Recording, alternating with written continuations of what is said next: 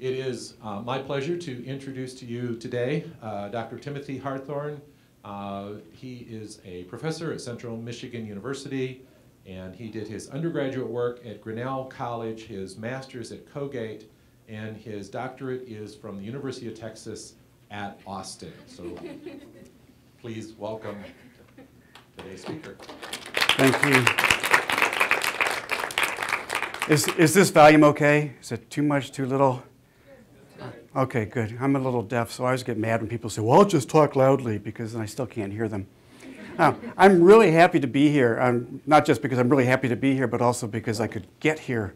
Um, you know, CMU was closed yesterday, and um, the roads were people going 40 miles an hour when you really could go 55, and I'm getting behind them, and I get, but I made it, yay. Um, so I'm really happy too to be able to talk about CHARGE syndrome. It's a little bit of a passion for me, and I'm sure it is for you too, right? Because everybody knows all about CHARGE here, right? No, probably not. Um, so instead of what you need to know, you really don't need to know anything about it. But I think it's a lot of really cool information to learn something about a syndrome. You know, there are lots and lots of genetic syndromes out there, probably a good thousand of them. Um, most of them we don't know a whole lot about because you have like two or three people in the world that have it. Um, but there are others, you know, of course, Down syndrome, most people know something about Down syndrome. Maybe Prader-Willi syndrome. Um, there are others cool ones like Cri du Chat, where they cry like a cat. Um, so charge is you know, among, among those. Um, that's a picture of my son, who, Jacob, who has charge syndrome, and was the whole reason why I got into looking at charge. So I'll tell you a little bit about myself here. So, professor of psychology with the school psychology graduate program. We have a APA accredited doctoral program and also the NASP approved specialist program. Anybody you thinking about school psychology, you might want to look us up. Um, I've been at Central for 30 years. I've been there for a while. Every state in the country is eligible to have a deaf-blind project. It's funded by the federal government, Department of Education, Office of Special Education Programs. And I've had the project at, at Central Michigan since 1999. So we serve the entire state of Michigan um, for children and youth who are deaf-blind, providing consultative services to schools, support to families. Um, I never thought that deaf-blindness was going to be something that I would spend my life really heavily involved with, but CHARGE syndrome turns out to be the leading cause of congenital deaf-blindness, people born with deaf-blindness for a specific reason. Um, the most common one is CHARGE. And I'm also director of the CHARGE Syndrome Research Lab, and there are some of my students from the lab um, looking very appropriate. We have lab parties a couple times a year, and that's one of our lab parties, and was held at my house, and that's why they're so cheerful. I have a combination. There are like four doctoral students there, and then there's undergraduates as well, each one with their own project. Um, so lots and lots of research being done out of the lab. Okay, the true author of everything that I know. It says do, but it's also everything I know I've learned from my son Jacob. Uh, his big picture over there on your left, um, fairly recent picture. Jacob is 29. He lives in the house next door to us. He has 24-7 caregivers. They're all college students who take like four-hour shifts. So they're in and out there a lot until they graduate, unless I can keep them from graduating, which uh, I can't really do. I threaten it a lot. I'm going to call your professor and fail you, and then you can't graduate. Stay working with Jacob. Um, so he has actually really good life. Now, charge is highly variable, which I'll talk about in a moment. Jacob's kind of at the low end of performance in charge syndrome, but he does pretty well. There's a picture of my wife holding him when he was quite little. The first four years, the charge is keeping them alive. And then that's a number of years later, but still a fairly old picture of me holding him. This is why he's got such a great life. If you look up there at the top, those two of his caregivers are out in, out in the town with him. I mean, that's, that's fun, right? So here are pictures of some kids with charge syndrome. Um, and I just put this together several years ago just to have something to kind of show the variety. That I love that picture in the middle. One of my doctoral students took that in Australia at one of the conferences there. And I've known three of those girls at least for a long time. They're all 19, 20 now and doing really well. Girl on the upper left, she passed away in her early 20s, just didn't wake up one morning And Tommy there too had a heart condition. He passed away. But the others are, this is my son Jacob right there in the middle. Um, Michael has the, has the um, tracheostomy, uh, severe behavioral issues. My gosh, he was a mess. I think he's doing much better today. Um, there is a book if you get really interested in charge syndrome. So we wrote a book, it came out in 2011. But we're working on a second edition, so if you want to wait another year or so, we may have the second edition out in a year or so. That's the plan. There's also, for those of you who speak German, there's a German book. Um, those are kind of the main two books on charge syndrome that have, have, have been done. There's really not lots of articles, especially genetic articles, but in terms of publications and in terms of books, that's, those are the two. I just wanted to give you a sense of, of some of the variability. So this is Ruben from a number of years ago. Ruben is now acting on stage and he's in commercials, I believe. But when his mom first gave me a description of Ruben at this age, I'll have to read it over here. Two open heart surgeries, tetralogy of Fallot, that's a major heart condition. VSD, ASD, also holes in the heart, repaired at three months, and scar tissue removed at five years moderate severe mixed hearing loss, whereas a Baha, that's a bone conduction hearing aid that's anchored to the top of the skull and, and it's using the skull as a resonant board essentially to pick up sound. Coloboma, which I'll define, wears glasses, had a trach uh, from three months to three years due to failed extubation from laryngomalacia. So problems with the back of your throat swallowing and scarred airway, 19 surgeries to date, mainstreamed education, started reading age three after signing from age one, now only speaks and doesn't like to sign, classically trained, training in piano, and also plays by ear. Big issue has always been his airway. Speech is very good with only a slight impediment with letter R. Receives speech, PT, OT, adaptive therapy, enjoys skiing, swimming, and karate. Challenges with balance. So, you know, when you start looking at all the medical kinds of stuff that some of these kids, many of the kids have, you wonder how in the world do they function? But it turns out that most everything, there's a way to correct it, there's a way to deal with it. Um, and so we're really working to get these kids through the medical phases into, a, into school, help them to survive school, and then go on with their lives. So I said, a high degree of variability in charge. So just to, so this one here, Cynthia is a school psychologist. She works in Boston. Um, didn't know she had charge until her son was born, and he was diagnosed right away, and they figured, of course, that's what she has too. Um, there's my son Jacob again. So he went to school until he was 26. So we actually got a certificate saying he went to school, and not quite the same thing as having a graduate degree. But that's just to illustrate what a range of ability that you, you see with charge. It's very difficult to talk about typical charge because so many different kinds of things can vary in severity or, or not. So, no average charge. That's from uh, Surfers Paradise in Australia. I go to their conference every other year.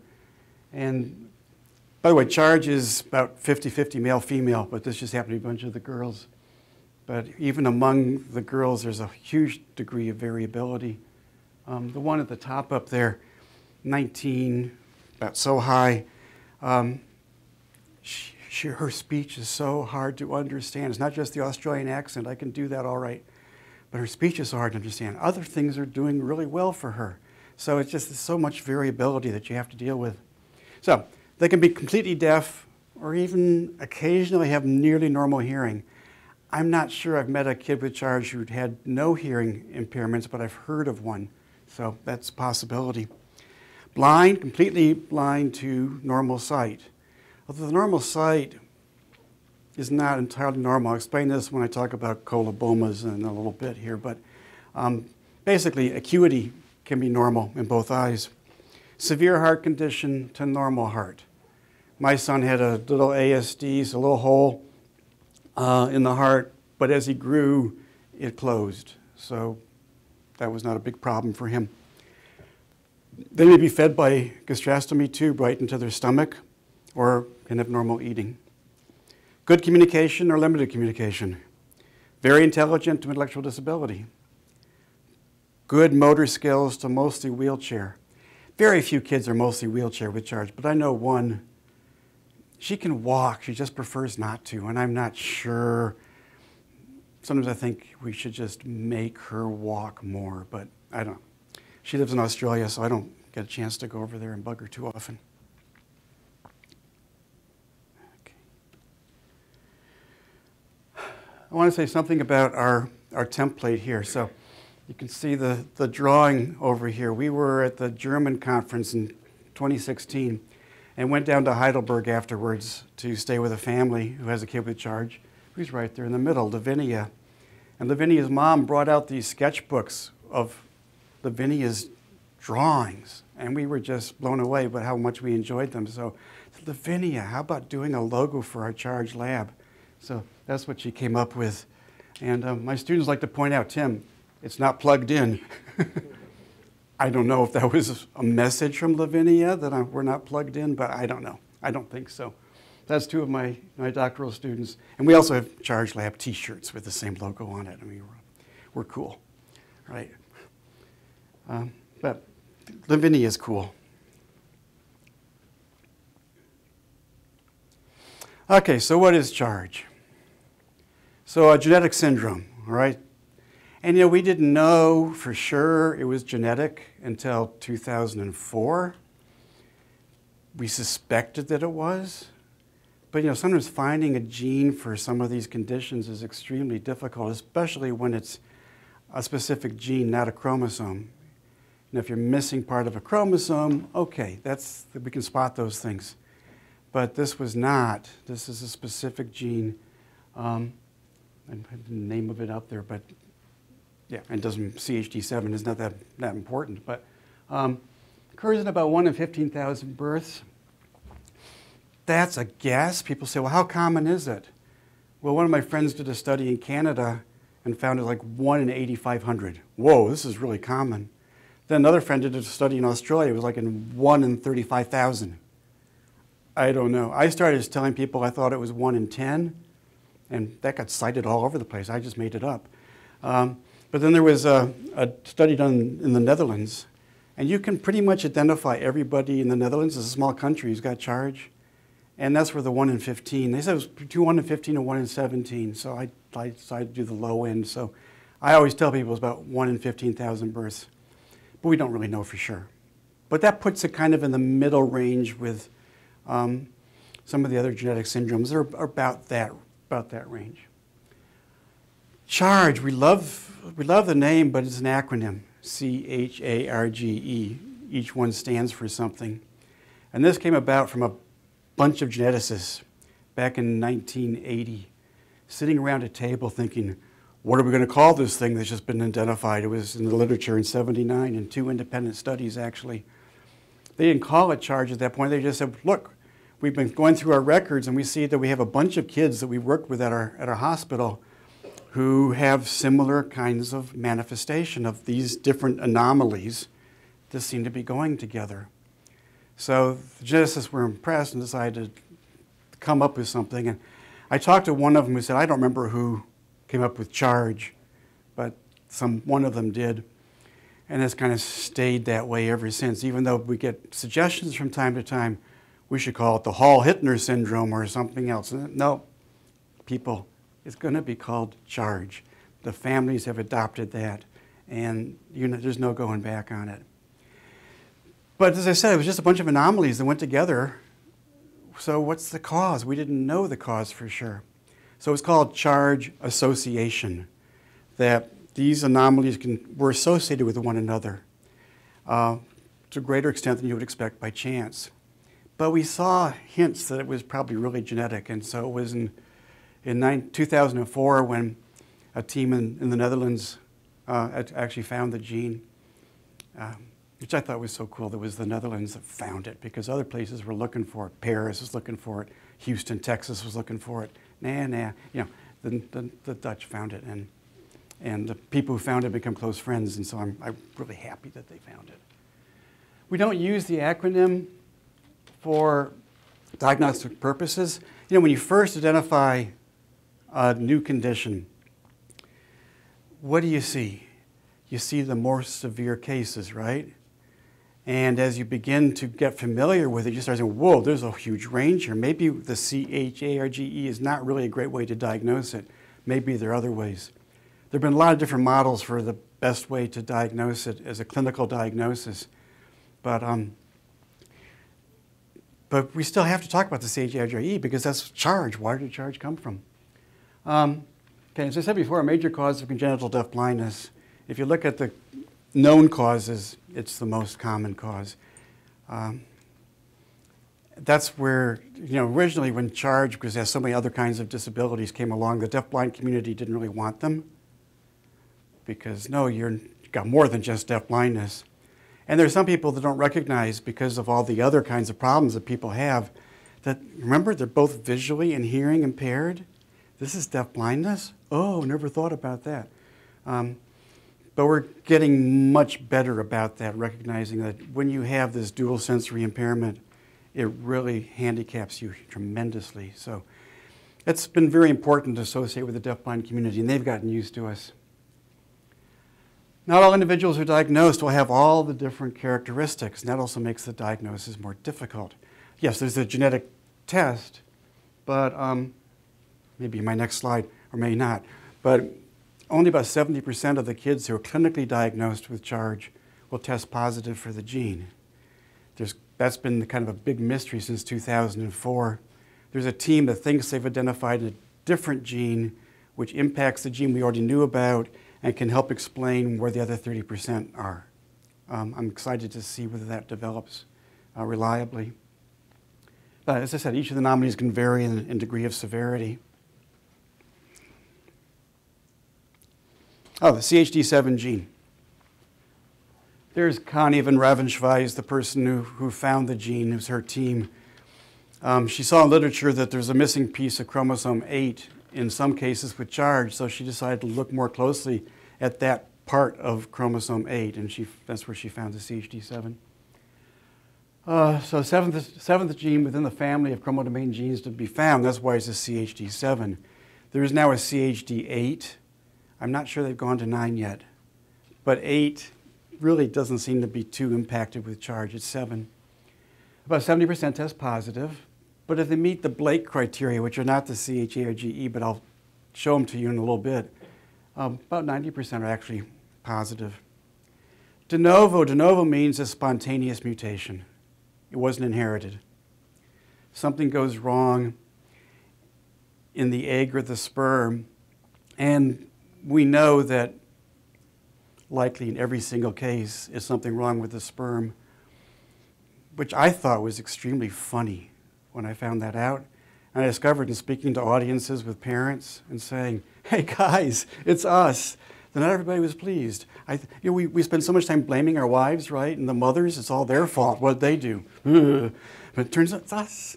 But it's not, we didn't do anything, right? Men reproduce sperm all their lives and every time you reproduce from the original cells, you get little errors that crop in. Have you ever taken like a some, something was written and you make a Xerox copy of it, and then you take the copy, you make a copy of that, and take a copy, and make, and little errors kind of creep in along the way. It's the same kind of principle. That the more often you reproduce something, the greater the chance that there's a problem with it. And for charge, we already knew that fathers tended to be older than average for having a, having a child. So, not some fathers, but I was young when I had my kid with charge. Yeah, I know, but on average, you know, the older you get, the more likely you are to have an error in your sperm. You know, probably everybody in this room has some genetic anomaly. You know, we all do. It's just most of them don't make any difference whatsoever. It just turns out this one does. And so that's why it's so important. Um, so copy error in the sperm. That, for those of you that like genetics and want to know exactly where the, where the gene is, there's a nice picture. So transmission. So as I say, most cases is due to de novo mutation of the gene. It's a spontaneous mutation. In these cases, the parents don't have the gene mutation, right? The siblings don't have the gene mutation. But the risk of a second child with charge is a little bit higher than typically. So I've heard geneticists say, well, you got about 1% chance of having a kid with charge. If you've already had one, you're probably up at 2%, right? There's actually a family here in Grand Rapids who's got two kids with charge, and they're both de novo, so they got the short end of the stick. But uh, they're all doing fine. Uh, in fact, that's, that's the family, so probably shouldn't have had that here because someone might know them and I'm disclosing something about them. But great family, I love them. Actually, we've been good friends for a long time. In some cases, if the parent has the kid, like with Cynthia, and there's Cynthia with Brady from a few years ago, um, and she's, Tim, use my picture anytime you want, so I do. Uh, then you got a 50% chance of having a kid with charge, right? So, but that's probably not a lot because for a kid who has charge to grow up and be able to reproduce, have a, have a baby, that's not easy. Brady was in vitro right? It wasn't easy for Cynthia to get pregnant. And she didn't know, of course, that she had Charge syndrome. She knew she was deaf, right? She went to Gallaudet, the deaf college in Washington, D.C., got her graduate degree there, um, and has done very, very well. Sometimes you, can, you don't know. Conny in, in the Netherlands tests all her patients and, and their families and did find one that had a mother who tested positive for the mutation. She had virtually no symptoms other than her balance was off. And I'll talk about balance in a little bit here. So, C-H-A-R-G-E. Cute, huh? Okay, I gotta do that twice, don't I? Okay, so C is for coloboma. So a coloboma is a missing piece of the eye. It's just a hole. There's no eye there when the eye forms uh, in utero, it evidently forms from the front and goes around and zips up in the back. So if you've ever had a zipper that had a hole in the, in the zipper because it didn't zip properly, that's kind of like a coloboma of your zipper. There's a hole there where it didn't zip entirely right. For that reason, many of the um, colobomas are, appear in the retina, which is, of course, the back of the eye, but it can also be in the iris. So about 80%, these are real guesstimates about how what percentage of the kids have what, but um, it's about 80%. You can't do anything. There's nothing to, to build upon. There's just a hole there. It's missing tissue, right? So it's not like you can surgically change that until we get to be able to do whole eye transplants, and then that might work. So here's an iris coloboma, and we say it has a keyhole effect. So the bottom part there is, you know, it's just missing. Right? Now, if you have an iris coloboma, it's not going to affect your vision. It will affect your light sensitivity because your eyes, pupil's not going to contract properly right all the way. So they may have to wear sunglasses when they're outdoors. Typically in charge, if you have an iris coloboma, it also goes all the way through to the retina. But in the general world out there, people can have iris colobomas without going through to the retina. So there's a normal retina. It's actually my son's, my youngest son's retina. He doesn't have charge. So I'm really proud of that retina. Uh, looks cool, right? And the macula, which is the point of sharpest visions right there, and there's the cranial nerve head over there. So it looks nice. This is next one is Jacob's retina and the material just isn't there. Right? There's no retina. There's stuff behind it, but there's no retina. Um, and this affects the optic nerve ends. So, you know, who knows how, how you can actually have a coloboma that goes all the, all the way down the optic nerve, but um, I don't think his does. It does skirt the macula. So may get some sharp vision, but it wouldn't be complete In fact, his vision is about this. You know, his right eye is small and his all coloboma. His left eye, it covers the, the upper visual field so he can look as, and often tips his head back so he can see more straightforward. And he has bad acuity in that eye, but he uses it really well. People say, why, he can see.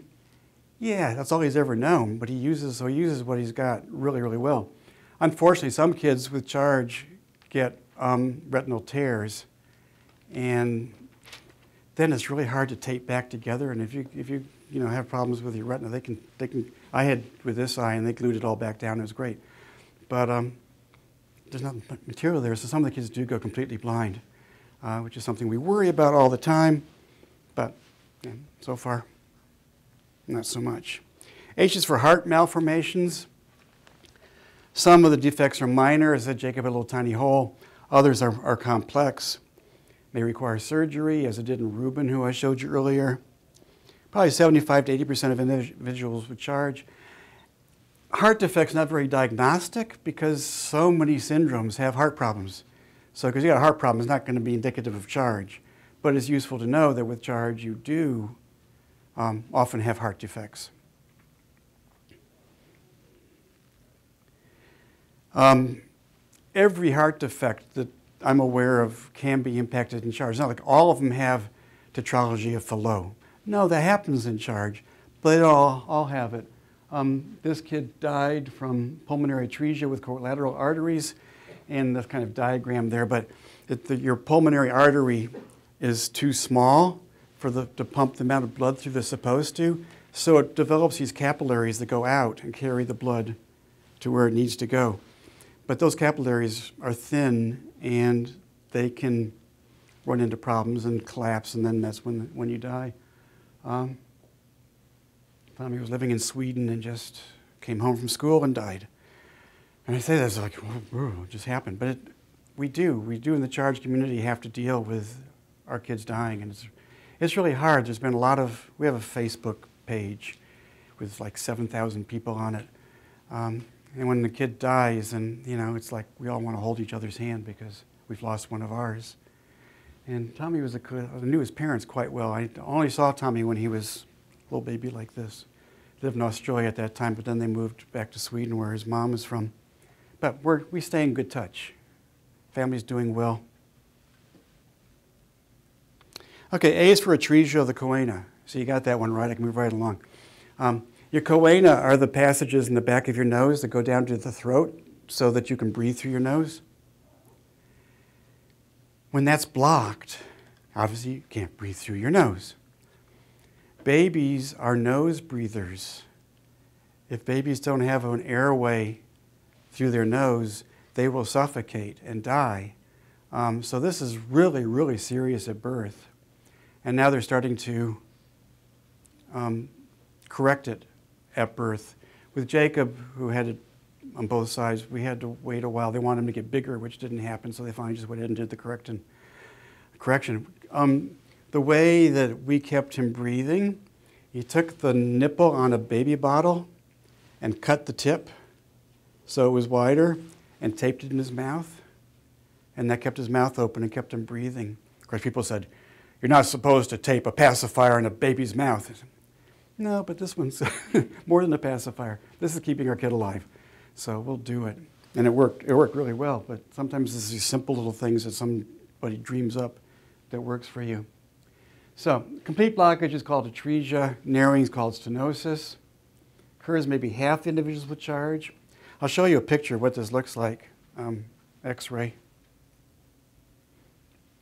So the x-ray is looking up from below, looking at the nose, sticking out there at the top. And you can see on one side where it's black from the tip of the nose, it goes back to the throat. There's a little bit of a narrowing there. On the left side, it doesn't get all the way back there. So what they have to do is they have to drill through bone or membrane from the back of the throat to create those holes, and which is not easy surgery to do. Then they put stents, plastic stents in to keep it open until it heals. And sometimes kids have to have it done a second time because as they get older, it, it narrows again.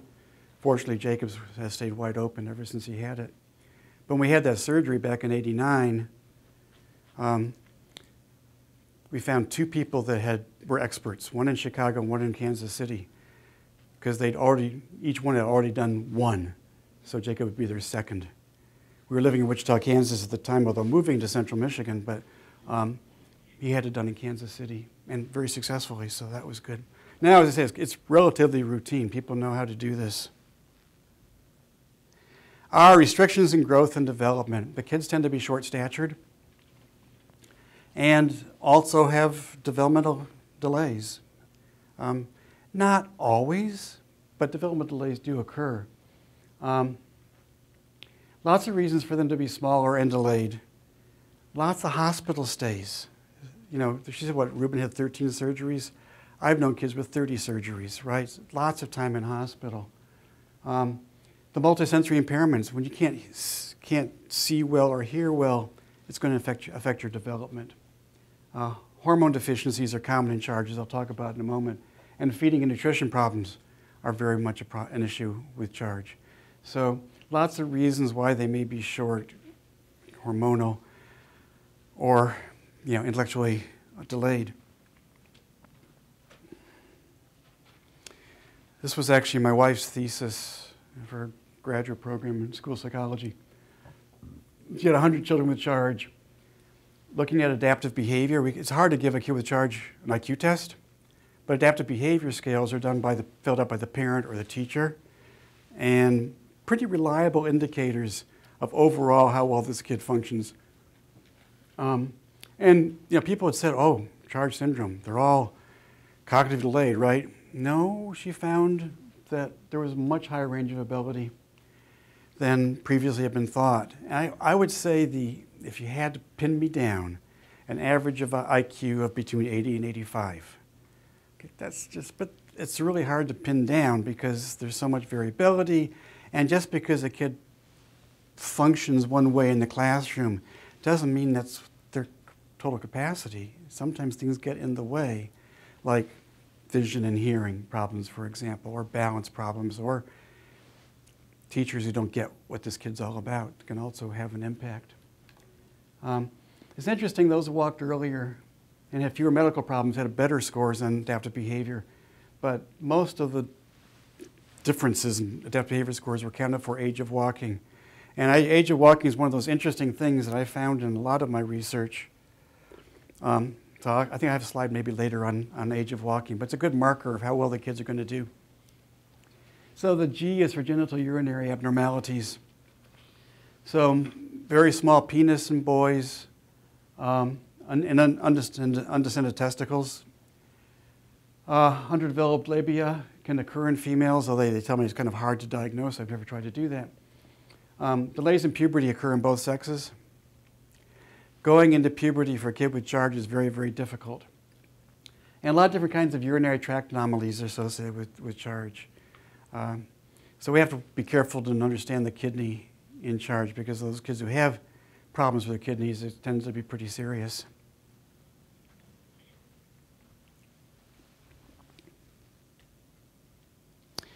Okay, hypogonadotropic hypogonadism. Boy, the first time I ever said that to an audience, I stuttered so badly, and I said it a second time and got it right, and they all applauded. But um, hypogonadism means that the hormones that turn on the gonads, right, your sex organs, basically, it's not enough of it, it's hypo. Hypogonadotropic hypogonadism is because the gonadotropic releasing hormone is deficient, so it doesn't stimulate the uh, thalamus and pituitary to release the hormones. And basically, the source of hypogonadotropic hypogonadism is the development of the nose, which is really fascinating to me. Kids with charge, by and large, cannot smell or have a very deficient sense of smell.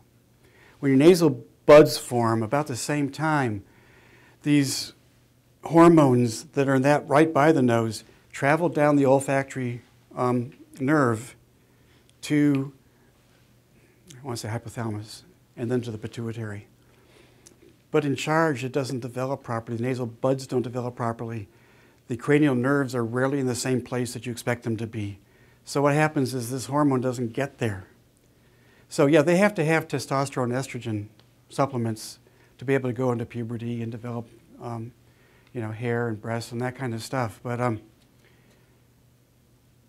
yeah, and anosmia is a lack of sense of smell, which the French actually identified early on, and uh, but it's, see, so now you already have vision, hearing, and smell impacted. That's a lot. That's a lot.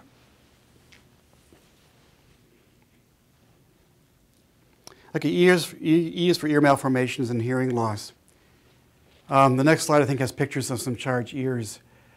Pretty identifiable by those who really study charged ears.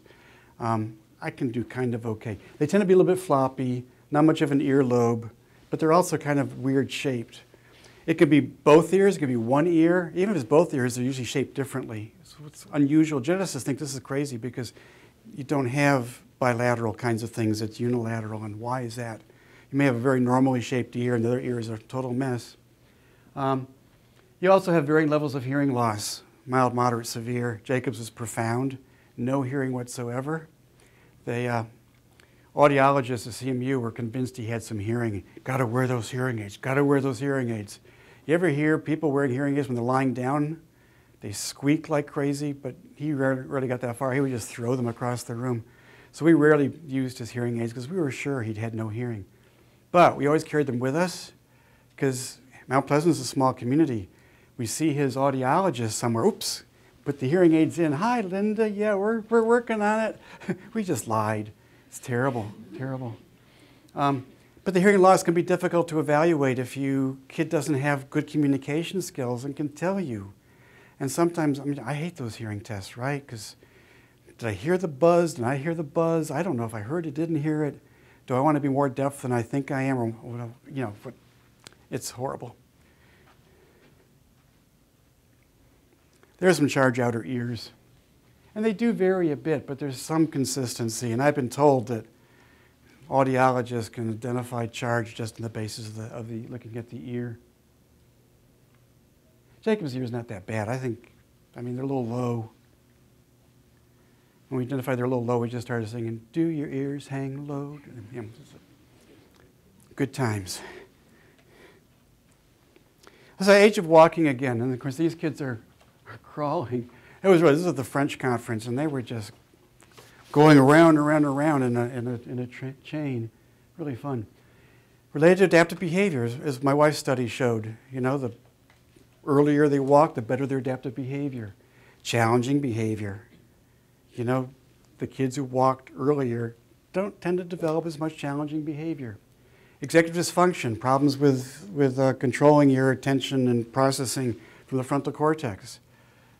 Age, early age of walking, less executive dysfunction. Number of psychotropic medications. I found that the earlier they walk, fewer medications they're on. Communication skills. I didn't do that particular research, but one of my colleagues did. Earlier they walked, better their communication. And sleep disturbances as well. So, know, obviously, a lot of things are associated with age of walking. The big puzzle has been why age of walking, and there are some, some ideas that we have about that, which I can, I can share with you. Here's the inner ear anatomy, anatomy, and you see the semicircular canals kind of. But right, the semicircular canals are three of them at the right angles, and they detect balance. They detect where your head is in space. So every time you move your head, what's happening is just gelatinous fluid in your semicircular canal, which is moving when you tip your head, and then stimulates some cells, which tell you ultimately um, what, where your head is in space. Also, it turns out that the semicircular canals are very much involved in ocular coordination. That's your coordinating of your eyes. So if you look at somebody and then turn your head, you can still look at them. That's determined by your semicircular canals. Um, if, you, if you can't do that and you, your eyes go with your head, it's often very difficult to come back and find out where was I before. I think this is one of the big reasons why the kids are, are highly affected. Those because most of our kids don't have good semicircular canals. They're either absent or they're malformed. And so they're walking like this when they're able to walk. One parent said, Yeah, my kid walks like a drunken sailor. And yeah, that's how they, that's how they do it. Um, when they learn to walk, you know, Jacob was seven when he learned to walk. I've known a kid who was 12 when they learned to walk. I've known a kid who was two when they learn to walk. The average age of walking for charge is just after having turned three, somewhere in the next few months. Average, but that doesn't mean a lot in charge because they're so highly variable. Um, so when your eyes, so see, even if you didn't have coloboma, even if you didn't have those or it was very, very small, you still your eyes aren't functioning normally. It's very hard if, if you know, you're in a classroom watching the teacher and someone makes a disturbance and you look away, you can't get back to the teacher. I one old, young adult with charge said, so that's why I work on some, some uh, welding stuff, and when I got pipes, I can't always keep them straight as to where they are, right? Because they keep kind of shifting on me. That's because your eyes are shifting. And he was really happy to find out what the problem was, and he could learn to compensate for it. But that's, that's a big issue. We've also recently discovered the cerebellum is affected in at least some kids with charge. And within the cerebellum, we have movement is a big part of what the cerebellum is involved in. That's the ataxia. Your gait, um, kinetic, and speech can all be affected. And so I, am pretty darn sure, because for, for the, cere- for the semicircular canals is where your head is. For um, the cerebellum, it's, it's the movement, you know, forward, backwards kind of thing. Semicircular canals is up and down, but um, the cerebellum is huge in terms of just your overall gait. So maybe the drunken satyr is not just because I'm having a hard time getting balance, but it's also because of uh, just the cerebellum problems have affected that. We've, there's some preliminary research that's been done, um, and I, I have to check and see where they are because I haven't seen anything published yet, but I think this is going to be a big issue as we get to know more about the brain in charge. Language development. See, language is based on vision and mobility. Well, if your vision doesn't work well, and it's hard to be mobile, especially when you're a kid crawling around on your back. Many of the kids crawl on their back. Um, it's a problem. Hearing loss, a problem. Tracheostomy, because it's a hole in your throat, could influence speech. They often have a cap on it, so you close the cap and you can hear the kid speak, but you got to open it up so the kid can breathe. Um, craniofacial problems. So some of the kids have the choanal atresia. Some of them have uh, cleft palate. And so there are a number of different craniofacial kinds of features that may be affecting, will affect language. Early language stimulation. If a kid's deaf, how do you stimulate their language? Well, we use sign, but what if you don't sign? And even if you sign, does everybody in their environment sign? So to get that kind of a rich signing environment, it's very difficult to create. Cognitive skills, some of these kids are, are much lower, and that's going to influence communication. Parent child interactions. Did a study on attachment and charge, and about 25% of the parents were struggling with feeling like they were attaching to their child. Um, and then the various neurological kinds of features that we're, just really in the process of identifying in charge. Um, all of this affects communication.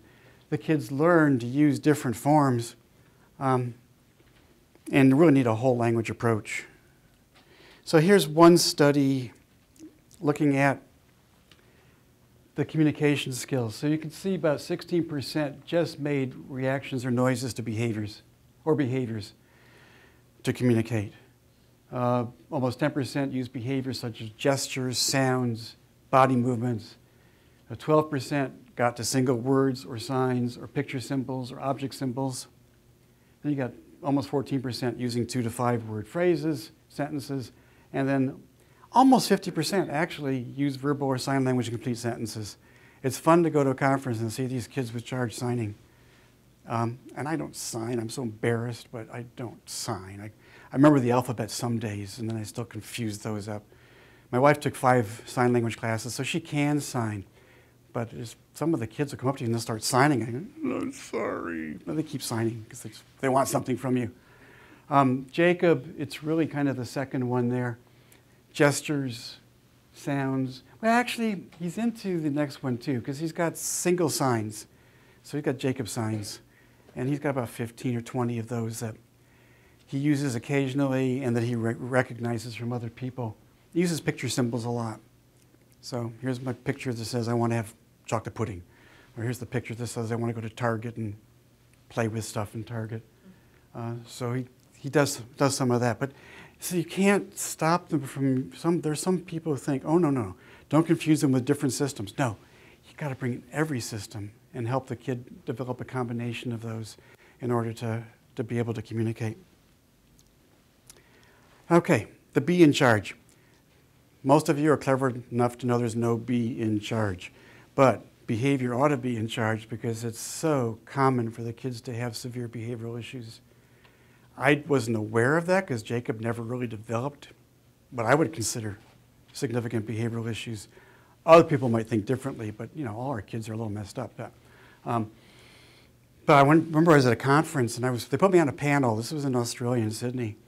And uh, I was with a pediatrician, and my wife was on the panel, and I was on the panel to respond to parents' questions about behavior. And my jaw just hit the table because I had no idea that kids were behaving that badly, aggressively, um, and as well as nearly any kind of negative behavior you can think of, some kid with charge does it. Some of it's kind of cute. There's one kid that liked to put things down air vents, you know, for your your uh, heating system or air conditioning system and stick them down there. Um, cool, but the dad had to unscrew it right and reach down and try to retrieve as much as he much as he could. Uh, that's not a problem. That's a problem. So, is there B in charge? So, I said in the 1990s, parents were talking about the unusual behaviors. Many are getting diagnosed with autism, obsessive compulsive disorder, ADHD, tic disorder. I have a problem with this diagnosis stuff, especially the autism. Kids with charge do not have autism. And some people say, well, Tim, statistically they could. Eh, I don't, I don't agree.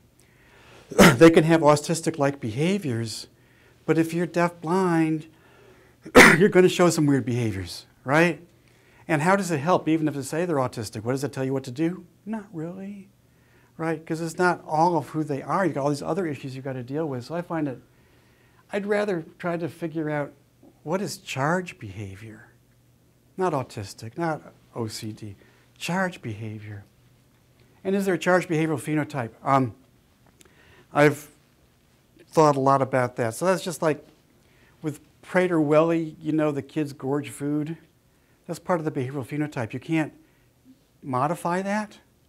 The only thing you can do to keep Prader-Willi kids from eating is lock it up and hide the keys. Um, is there something like that for charge? I don't really think so, but I did develop a behavioral phenotype. Here are just some of the, some of the kinds of behaviors you might see. Um, you know, finger flicking, well, if you don't see much, it's great to have a light and finger flick through the light because the light's reflecting on my, my fingers into my eyes and it's very stimulating. Why not? But that's something people can get concerned about.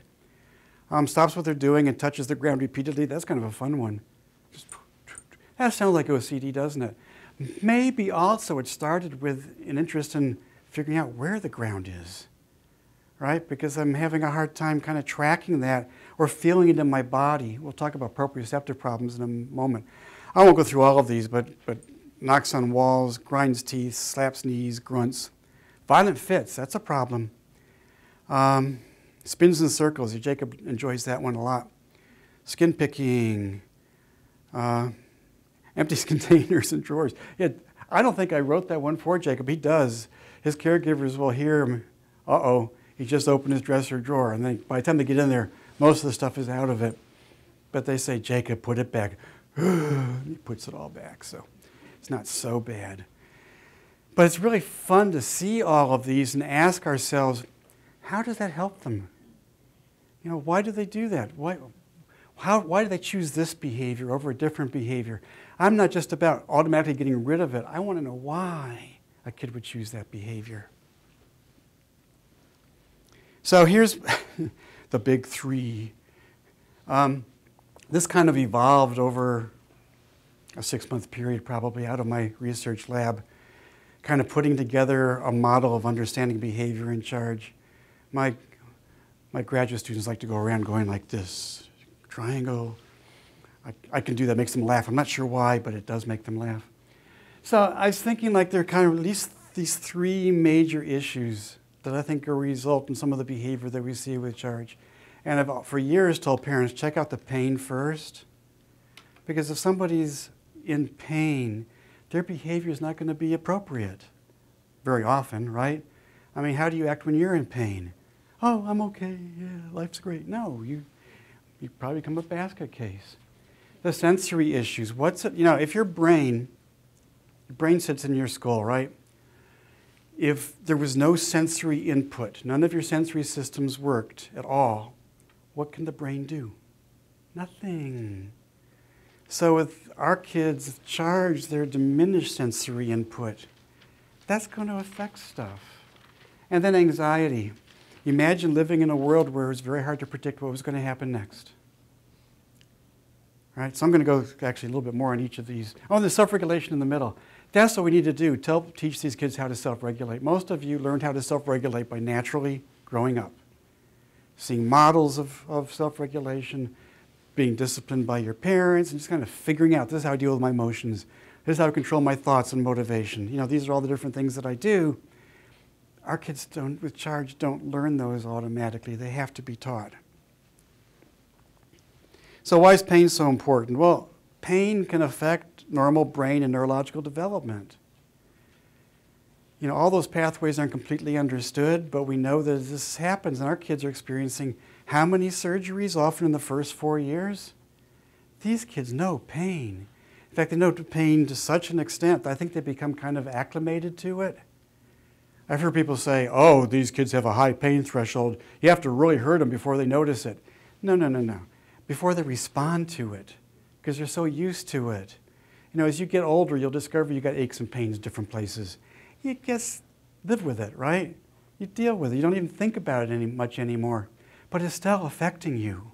It's still making you less comfortable than you would like to be. Uh, certainly, pain can affect sleep, as most of you know. And sleep's a huge problem in charge anyway. And how's your behavior after having not had night of, night of good sleep, right? It's bad. Can interfere with exploration of the environment and learning. If I'm in pain, how much do I want to go out there and explore, right? Not at all.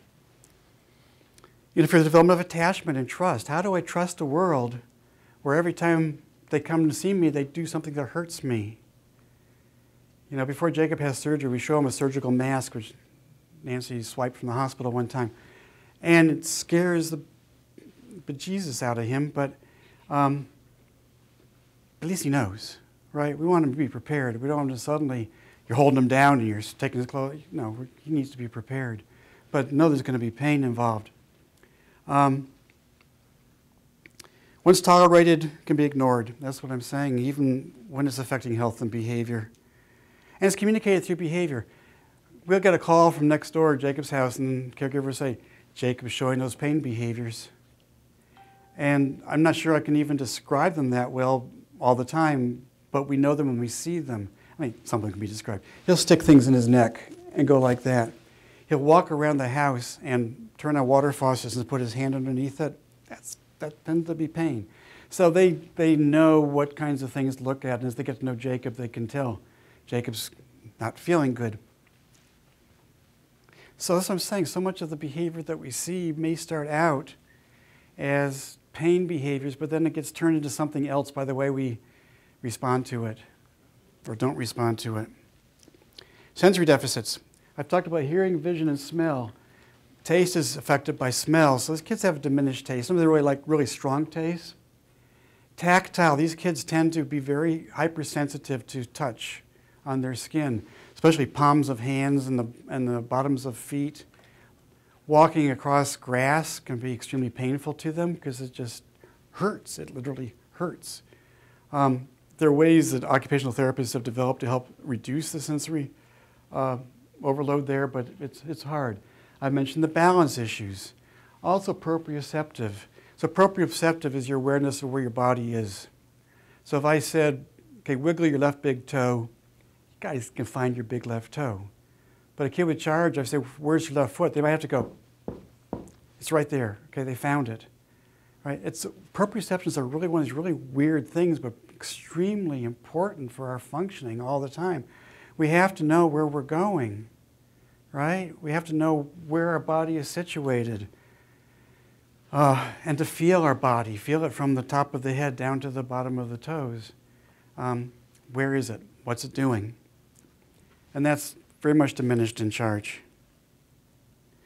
So here's a kid who's watching TV. And it looks bizarre, but his whole body is along the couch here. So he's getting lots of proprioceptive feedback as to where his body is, especially lying on his back pressed against the couch. Um,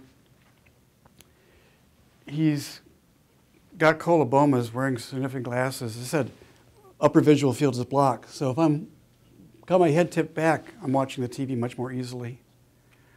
Also, how much muscular work do we have to do to keep our head upright? We don't think about that much. But when your head is hanging upside down, nothing. It's stable. And for the kids with other vestibular with the vestibular problems, their head is rarely stable because they can't, they don't really know where it is because they can't control that balance sense. So this kid's figured it out, right? This works for me. In fact, hanging upside down is one of those really characteristic charge uh, behaviors. I just asked parents to send me pictures of the kid hanging upside down. I think the next day I had 80 pictures, which I couldn't use all of them. But uh, very, very common in charge that they hang upside down because it works for them. Now, they don't hang for a long time, right? One parent said, if my daughter's doing well, it'll be 10 minutes. If she's been having some problems, it could be 20 minutes, and then, then they're done. That's just like their way of relaxing. Maybe not mine, but. Then anxiety. Anxiety is uncertainty about what's going to happen next. You know, if you're deaf blind, you know what happens to you? You might be lying on your bed. Someone comes in, gets you up, and they're taking you somewhere. Where are we going? Are we going five minutes to the grocery store? Are we going 10 hours to grandma's house? What's happening? What's happening? That's why we showed Jacob the, the surgical mask. Oftentimes they really don't know what's happening. And they go to school. The teacher says, okay, we're going to start out with math. Oh, I didn't know we were going to start out with math. I thought we were going to start out with social studies. They can go into a panic about something like that. One parent told me that her, she was taking her kid to the doctor and her kid started pounding on her back while she was driving. He was sitting behind her. What's going on? Well, the doctor's office had moved to a new location farther down the road, and they were driving by where the doctor's office was. This is wrong. We need to stop here. We're, you're taking me to the doctor's office. He couldn't communicate, he couldn't speak, but he sure could pound her back. She pretty much had to pull over and try again to explain that the doctor's office was, I think they actually get out of the car and go up, see it was locked, and get back in the car before he was okay to go on. Um, so we need to figure out ways to help kids with charge to understand what's happening. There's a whole system of calendar uh, calendars that you can create for kids, which are visual calendars. You can have them on Velcro so you can show how the sequence of the day is going to be. You can take them off and put them in the finish box as the day progresses. You can go back over the days. Remember, we did this, and then we did this, and then we did this. So it also establishes better communication. But one of the pieces of advice I give people working with kids with charge is go slowly. Give them lots of warning. Um, Alexis, the girl that was in one of the earlier photos that I said had passed away, um, her school, she went in early and watched TV until about 20 minutes or 25 minutes later they could start school. You had to tell her 10 minutes. Alexis, 10 minutes. Alexis, 5 minutes, 3 minutes, 2 minutes, right? Before she was willing to transition to the next activity. So kids need to feel safe for them to perform, for them to behave appropriately. If you don't know what's happening, you're not going to feel safe. So here's kind of my charge behavioral phenotype. Um, low normal cognitive functioning, that's not a surprise at this point. Very goal directed. Kids with charge are highly, highly goal directed. If they're going to do something, they will do it and they'll figure out a way to do it, which is good. That's why they think they learn how to walk. But it's bad because if parents don't want them to do something, it can be a problem. Um, but they are funny. Oh my gosh, they're funny. Socially interested. They are very socially interested. And they may go up to you and say, Hi, what's your name? What's the color of your house? What's the color of your car? I think they've had a really nice conversation with somebody. It's weird. They get too close, they don't know what they're doing. But again, they don't have a lot of role models for this. They can't see how other people do it. They've been taught you need to talk to people, and so they're doing the best that they can. Um, repetitive behaviors, which increase under stress. Repetitive behaviors can be tics, they can be, uh, like I said, tapping the floor, stomping your foot. Um, lots of different things that people do over and over and over again, even the light flicking thing I illustrated before. Um, you can kind of measure how stressed the person is by how much they're, they may be engaging in it. high levels of sensation seeking, it takes so much to get something into the brain, they may spend a lot of time trying to get more stuff in by touching things. Jacob was in kindergarten, licked the entire circumference of his room, right? Because the best sense he had. Um, yeah, I know. I said, but he's, he, he didn't die. So it turns out you can lick rooms and not die. Um, under conditions of stress and sensory overload, find it difficult to self-regulate and lose control. So stress is a problem. Sensory overload is a problem. You see, at the same time they're trying to get sensory stimulation in, sometimes they get too much because they can't regulate it so well. At that point, they lose all control, and it's really bad. Um, difficulty with shifting attention, moving to new activities, easily lost in their own thoughts. That's that transition thing is so tough, so difficult. And the executive, this is kind of executive function tasks, really difficult for kids with charge to engage in. So I don't know. I wrote this like in an hour one day. I'm going to behavioral phenotype. I sit down the road. It's hardly been modified since. I used to say first draft at the top, but I realized this, there's not going to be a second draft, so I might as well just keep it as it is. Parents say, oh my God, that's my kid. So that gives me some comfort. Is it really a phenotype? I don't know. I don't know. But it describes charge behavior reasonably well. I'd like to give thanks to my lab there. It's hard to find one of all the current people because it keeps changing, but this was actually in Australia with all had their, their charge shirts on, and there are their names. Um, we have a website, we have a Facebook page, almost have a thousand likes on it. So you could put us over at the top if you search for the Charge Syndrome um, Research Lab on Facebook. So, questions. There's a lot of stuff that I've covered here, but all of it can't have been clear, or some of it may have made you interested. Yes?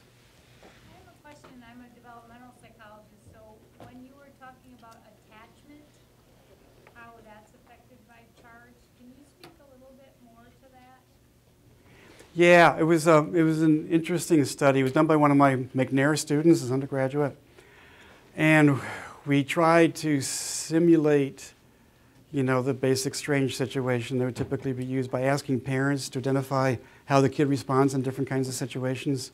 And then we had a bonding scale, which I can't remember now what that's, what's on that scale. So it was, it was survey. We can't get, you know, population of kids in one place that we very easily that we could actually study it in, in, in a laboratory kind of situation. So I've always wondered, like, do, you, just as a parent, attach and bond more, or I thought you were saying that less. It's it's you know what what causes you to bond with your kid? Well, they look at you, right? They respond to you uniquely, and you can predict what the responses are going to be.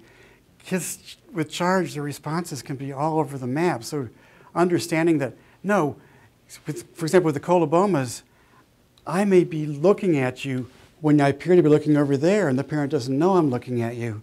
So the parent gets this idea, oh my God, you don't love me. You know, you don't care about me. And that's, that's the problem. You think there'd be a goodness of fit issue as well? So oh, absolutely. Oh my gosh. There aren't things that, that you're similar at, so you, you can't share in the same way, which is part of that whole now, if you think about goodness of fit, and some parents are looking for the kid to be functioning up here, and so they're missing the kid entirely. And the kid's got blockages because of sensory impairments, so even for them to engage with the parent, it's very, very difficult. How do you take a parent and help them become a good fit for their kid? That's a challenge. Um, you know, I've seen amazing parents, I've seen parents that just struggle. So, figuring that out, huge, huge issue. Uh, yeah, right. Um, how, where would you go in like the West Michigan area to get tested for, for like test a child for that? Is there any place you can go? I honestly don't know. I mean, there are laboratories around the country that routinely test for CHD7. I think you can look, I think you can Google it and find out where they are. Certainly Baylor does it still. Um, actually, Baylor sent us our results and Jacob did not show the mutation.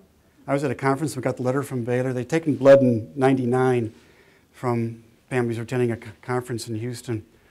And it doesn't have the mutation. I go, oh my gosh, no, he must. I went to one person and said, Tim, you're going to have to resign from the foundation and, and retract all your publications. And one, didn't- that wasn't helpful. One another said, well, you still got charged because it's a clinical diagnosis. That really wasn't helpful. I went to Conny, who found the gene. She said, send me his DNA. I'll test it and call it research. It didn't cost me a dime other than to mail it over there. And the mutation was obvious. Um, it was so he had it, but so different labs can be unreliable too. But they're so much better now than they used to be. Sure. But you'd have to talk to a geneticist or a genetic counselor to find out where they would refer somebody. Yes? Can Charlie be diagnosed pre-birth, and if it can, can you kind of guess how severe different parts of it will be? Can it be tested in vitro? Yes, it can. Um, but you'd have to have a reason for wanting to do that test, which is unusual unless you already had a kid with charge or you had charge. Why would you, why would you do that testing? In a, in a level two ultrasound, they would look for excess amniotic fluid. So my wife had. Um, so she got really big and then went in premature labor because when you have choanal atresia, you're not processing through the body the amniotic fluid and it just builds up. You can look at kidneys, you can look at heart. So certain things like that you can, you can check, but it doesn't give you a diagnosis, just a suspicion that there's something wrong. Somebody with their hand up over here. It's been up. Sorry, yeah, sure. Um, do you see any cases of, um, seizures, Is any, any case, uh, connections with seizures? Neurological seizures? Are there any connections? Seizures. seizures, I'm sorry, hearing impairment. Um, some kids, especially when they get around 19, 20, have developed a seizure disorder. I'm not sure that that's charge related or not. We know so little about the brain in charge. We've not really had a neurologist who so far has been passionate about charge. Um, we certainly have neurologists who treat kids with charge, but that doesn't mean they know what they're talking, you know, what they're really dealing with. So I would say there's some suspicion that some kids with charge, when they get into young adulthood, um, maybe tendency towards seizure disorder. I just don't know at this point how common it is. But really great question. There was another one over. Yes. I know you say it's not genetically, um, but, and you said it comes from the sperm Hmm. mutation. But if a woman, like the girl, she had it and she had a kid with charge, why is she a higher risk if it's not from, she, she, she didn't know it was a sperm, it's a guy. Right. So she inherited it. I mean, I mean, she got it from a de novo mutation. So, you know, your parents didn't have it, but you just got the, the lousy ticket, right? And so you got you got got charged because of your father's sperm mutation. But now, if you can reproduce and have a kid yourself, it goes through the typical kind of genetic probabilities that 50% chance of having a, it's a dominant gene. That's, that's a 50% chance of having a kid with charge. And then that kid would also have the gene, and they'd have a 50% chance.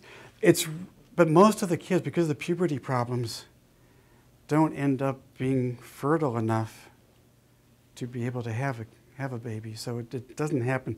Now, if you have a very, very mild case, there's a girl here in Grand Rapids who's got a very, very mild case. She's very high functioning, um, went to college and all that stuff, but and she's on Facebook all the time.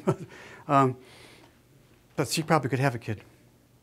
She didn't have the puberty kinds of issues. Yeah.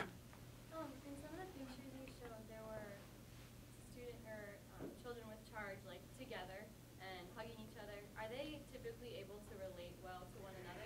Yeah, that's such a such a great question because this autism thing gets in the way. They say because of their weird behaviors, you know, they self-stim, they don't have good communication skills, right? They they don't aren't terribly social, but they are so bloody social. That's the thing that gets missed. And these kids who've been to conferences for years have known each other since they were babies even see each other every two years, if not before, for, for a conference, whatever country they're in, if they have a conference. And they're, they're, they're very, very close. They hang out, they have marvelous time together. And I've seen it, occasionally we get a family who will come up to our charge lab just for us to do kind of an assessment. When you see these kids crawling onto my students' laps and hugging them, that's not autism, I'm sorry. Yeah, their behavior is really weird. And you can go through the DSM and check off, yeah, yep, yep, they got no, they don't have autism. It's something very different. So they are highly motivated socially for the most part. My son isn't so much. If you want to diagnose him with autism, I'll be mad at you. But I could, it's a better fit than for most of the kids because um, they are so highly social. They just don't do it well. They mess it up. Yeah. How are they academically? Like Academically is all over the map. As I say, there's college graduates all over the place who've got charge, master's degrees. Um, Jacob with just a certificate of attendance, he, he got through there. I have found that if you talk, think, I hate to even talk about typical charge because it's really hard to define, but they can do all right in school until about third grade, and they start falling behind. What happens in the third grade? The work becomes much less rote learning and memory and much more conceptual and abstract. So they can work really, really hard to memorize stuff. And they have amazing memory. You could, if Jacob had come with me here today, and probably crawling around down here somewhere, and then we came back a year later, he would go right to the same spot because he memor- he's got the visual memory thing. But that doesn't help with, you know, what's democracy, what's the sunset. I mean, those kinds of things are very difficult to try to teach. So, but they can be taught. We just have to have really skilled teachers who get the problems in charge and understand how to modify the curriculum, adapt the curriculum so that they can compensate for some of the difficulties the kids are going to be encountering. So, really nice question. What else? This is fun. Yeah. Are there differences in diagnosis between, like, as far as amounts between genders? No, it's pretty much 50 50 males, females. Um, it's one of the things you look for, especially to see whether there might be a sex linked chromosome or gene, and it's not. It's eighth chromosome. It's, um, no, males and females are pretty much, and, and worldwide, I mean, some places don't do as much with charge because it's, you know, I get emails from people from all over the world, um, Arabic countries and Asian countries, and one family from Indonesia contacts me fairly often about the progress on their kid. They don't have a lot of people there, but that's because they're not identified. Years ago in Canada, they did a census of charge, and all the provinces except Alberta had kids, had cases. But that was the one province where the ex Canadian expert had never gone to do a presentation, right? So they didn't know about it. So I think it's pretty evenly distributed. Yeah. I have one more question. Um, do they, uh, like, how do they react when they see like other kids with the same characteristics? Oh, that's such a good question. How do they react when they see other kids with the same syndrome? Actually, the Australians were clever and they did a book for kids about why I am me, which takes them through their whole all the charge characteristics and the experiences that kids with charge have to help kids to understand what it is that they have. Some kids hate charge, that have charge. I hate charge syndrome and stomped out of a room. I can hardly blame them for that. Um, but they also, many of the kids recognize, and maybe the parents influence this because when we see other families with a kid with charge, this is magnificent. You know, these are our new best friends because um, we have this amazing thing in common with charge. Maybe the kids pick up on that. And there's kind of natural social thing. I hear somebody knows something about my experience. One of the issues that comes up over and over again with the adolescents in particular is I'm more than charge. I do something, people say, oh, that must be charge. And just imagine every time you did something, someone said, oh, that's because you have this diagnosis. No, I'm a human being first charge is only a part of what I have. And that's so important, and we really try to emphasize that with the kids when, well, one of my former students does groups with the adolescents to talk about things like sex and, you know, everything else, social stuff.